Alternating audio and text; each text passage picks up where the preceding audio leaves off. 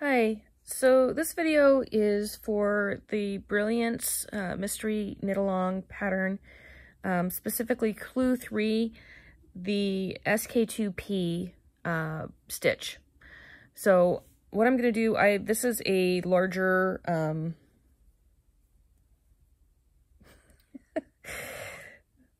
this is a thicker yarn, um, larger needles, so that it's a little bit more obvious. So I'm gonna, I'm just gonna uh, walk through it real quick on this, and then I will actually work it on the actual um, pattern a couple of times just, just to be really clear.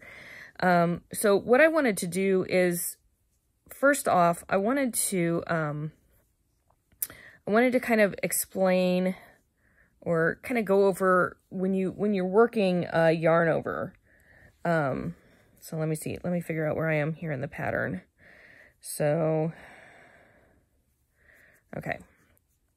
So normally when you um when you work a yarn over, there's there's a bunch of different ways you can so you can work from a, a knit stitch, then a yarn over, and then follow that with a purl stitch. So that would be a knit to purl yarn over. Or you can have a purl stitch and then a yarn over and then a knit stitch. So that would be a purl to knit yarn over. Um, you can also have a purl to purl yarn over, but the ones that we're doing here are technically knit to knit yarn overs.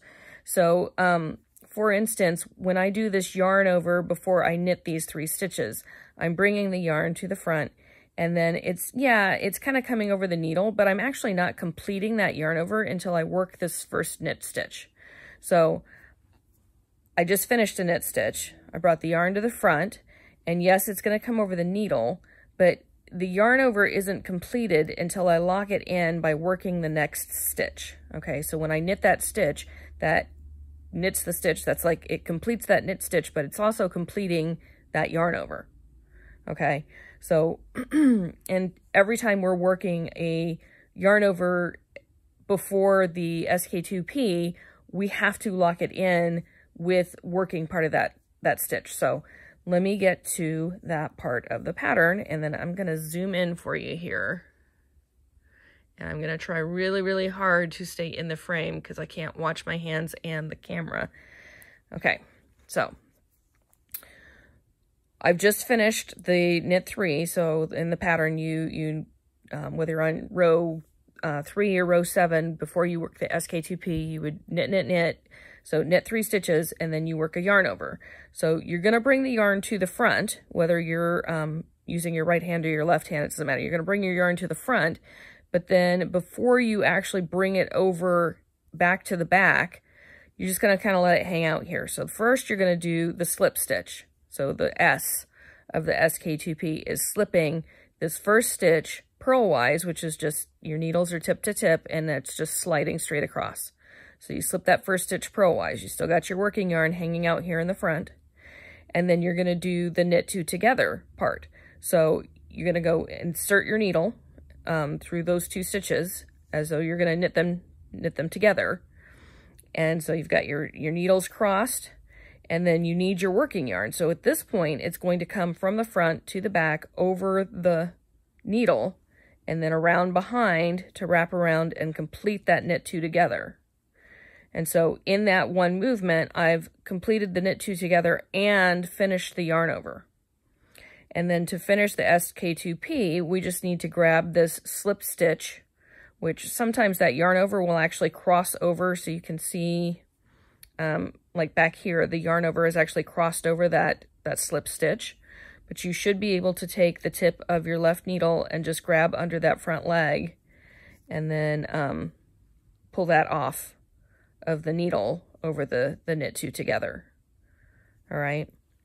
So again, following the SK2P, we have another yarn over and then followed by three knit stitches. So when we work this yarn over, it's not completed until we knit that first stitch. So we bring the yarn, we bring the working yarn, sorry, back up, bring the working yarn to the front to make the yarn over, but then we're going to insert the needle like we're going to knit that stitch and then wrap the yarn around. So when the when the yarn comes over the stitch over the needle and gets wrapped around is when that yarn over gets completed and then we complete complete the knit stitch.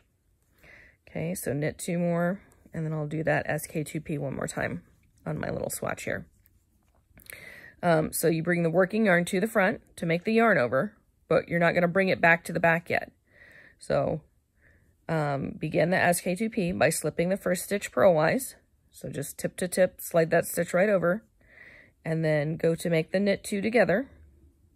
So insert your right needle into those two stitches. Um, so you're, you're going from the front to the back, um, around the, uh, you're not going back here and you're not going purlwise, you're going knitting into those two stitches to get them together.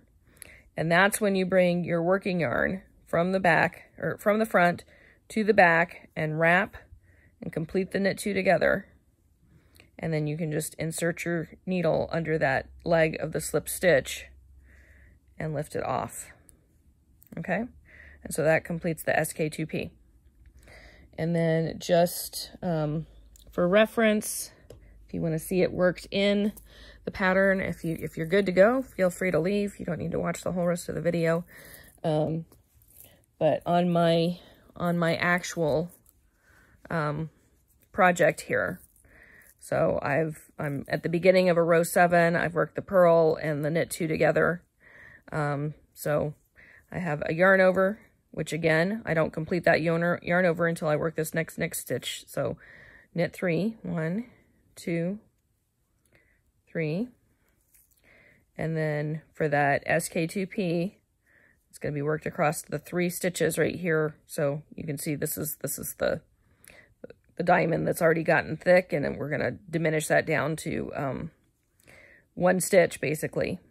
So you're going to bring your yarn, working yarn to the front, slip the next stitch purlwise, then go into the next two stitches to knit together, and then bring the working yarn to the back and wrap and complete the knit two together, and then uh, put your left needle into the front leg of that slip stitch and just lift it over and off.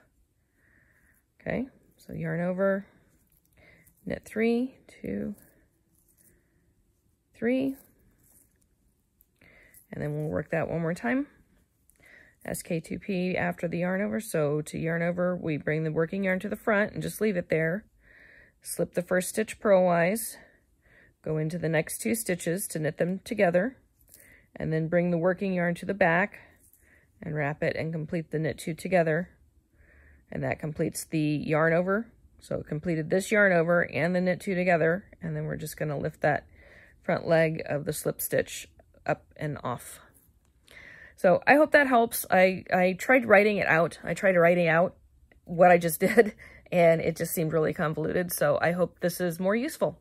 Let me know if you want to see anything else. Thanks.